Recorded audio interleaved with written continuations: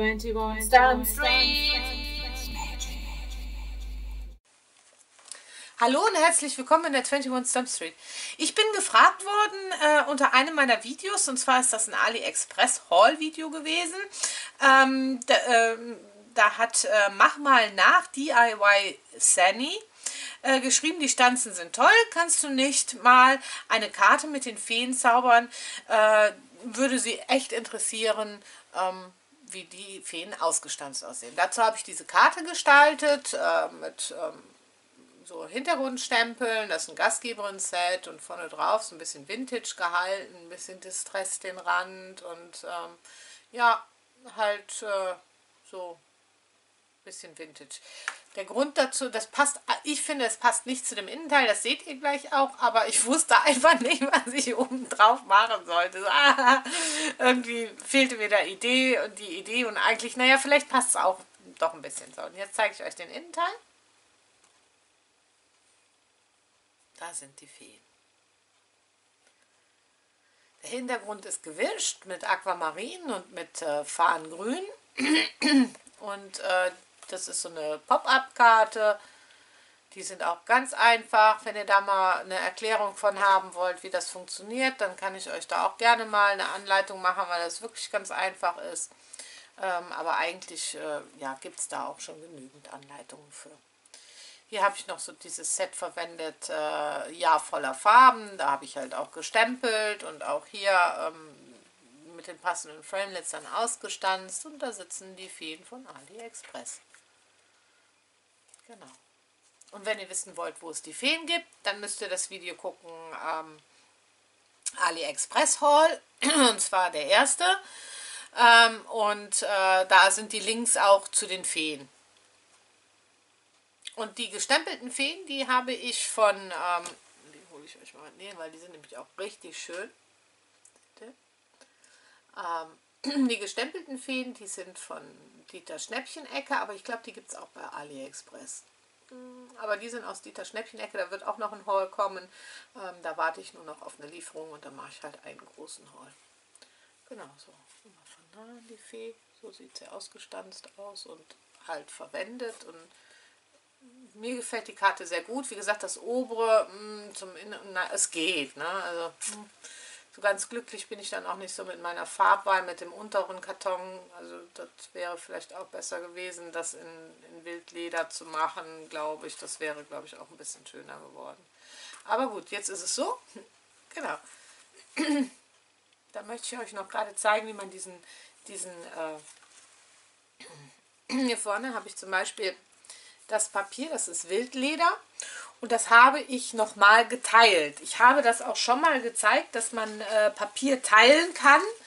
Ähm, dazu nehmt ihr euch einfach Cardstock und das gibt dann halt hinterher einen, äh, ja, so, so, so nochmal so einen extra Effekt. Und gerade mit dem Wildleder äh, Cardstock, da sieht das dann hinterher aus tatsächlich wie, wie so ein bisschen wie Leder oder irgendwie so. Also ihr müsst es erstmal so ein bisschen die, die Fasern brechen vom Papier. Ähm, und dann kann man das, äh, sollte man das, das ist manchmal ein bisschen was fummeliger, aber es, es geht auf jeden Fall. Und mal besser, mal schlechter, und äh, aber es geht. Ihr seht, man kann das dann auseinander teilen. Und manchmal geht es auch ein bisschen besser, dass die halt die Farbe, die, das besser aneinander bleibt. Vielleicht muss man es weniger brechen. Aber ihr seht, und dann gibt das also wirklich einen ganz tollen Effekt. Vorhin ist mir das besser gelungen. Hier habe ich hier äh, schon mal so ein Teil. Ja, also einfach so ein bisschen knüsseln und dann auseinanderziehen. Und dann kann man das also wirklich wunderbar auseinanderziehen.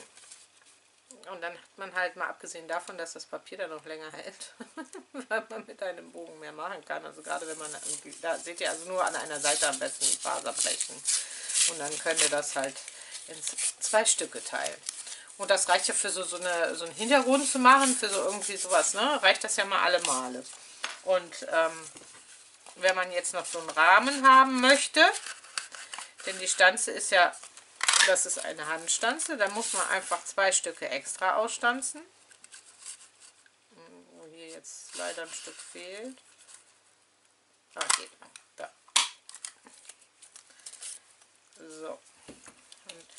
Die werden einfach in der Mitte geteilt. Einmal in der Länge und einmal in der Breite. Oder in der Höhe. Länge und Höhe, ich weiß. Ihr seht ja, wie, wie ich das gemacht habe. So, dann brauchen wir noch einen, wo dann halt der Spruch drauf kommt. Und die kann man jetzt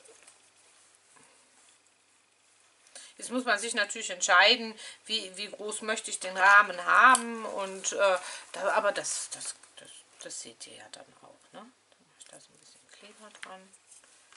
Dann setze ich den auf.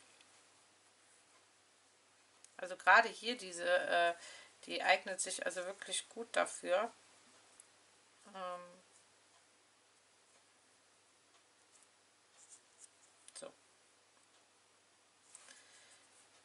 weil man die schön übereinander setzen kann.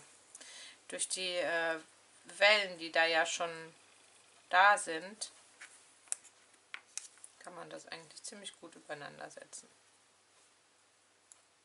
Was ich jetzt gerade überhaupt nicht sehe, weil es eine komische Farbe ist. Ich sehe immer wieder nichts, ne? Okay, da gehört es hin.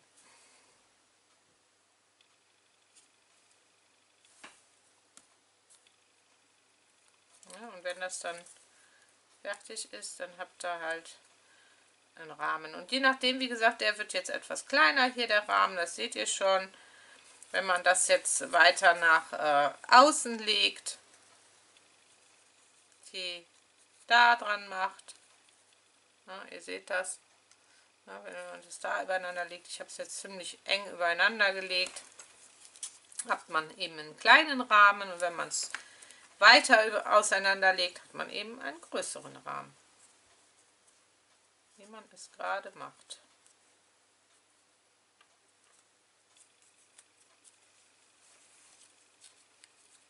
Ja, ich weiß nicht, was ich da jetzt falsch gemacht habe, aber also den falschen